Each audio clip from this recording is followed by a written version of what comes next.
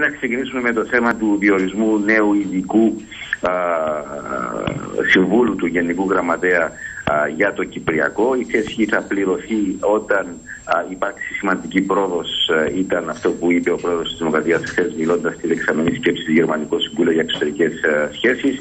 Ε, μάλιστα, επικαλείστε και πληροφόρηση που είχε από τον ίδιο τον Γενικό Γραμματέα. Εν τω μεταξύ, να πούμε ότι τέλος Μαου προγραμματίζονται οι νέες επισκέψεις των διαπραγματευτών Αντρέα Μαυρογιάννη και Κουτρέτο σε Άγκυρα και Αθήνα αντίστοιχα.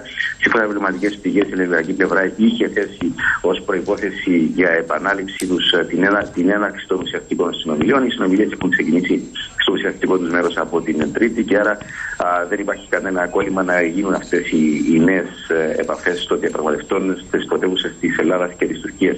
Σήμερα, εξάλλου, συνήθισαν οι τεχνοκράτες των δύο πλευρών για το περιουσιακό προκειμένου να διεξέλθουν τα έγγραφα που καλέθηκαν την Τρίτη από τους δύο διαπραγματευτές στο κεφάλαιο του περιουσιακού. Σε γενικές γραμμές, η ελληνική πλευρά επιμένει στην ανάγκη εδαφικών αναπροσαρμογών έτσι ώστε να επιστρέψει ο μεγαλύτερος δυνατός αριθμός προσφύγων στις περιουσίες τους επί ε, υποελληνοκυπριακή διοίκηση, ενώ στα κριτήρια που α, προτείνονται προτάσσεται το δικαίωμα του νόμιμου διοκτήτη. Στον αντίποτα, το τουρκοκυπριακό έδαφος δεν γίνεται καμία αναφορά σε εδαφικέ αναπροσαρμογέ και ενώ η φιλοσοφία παραμένει στη διασφάλιση της εδαφικής και περιουσιακής καθαρότητας σε κάθε χειριστό κρατήριο. Περιορίζεται στην κατάθεση δεκάδων κριτηρίων και προποθέσεων με τα οποία επιχειρείται η υπονόμευση του δικαιώματος στην περιουσία και η κατοχήρωση των δικαιωμάτων, των λεγόμενων δικαιωμάτων του χρήστη.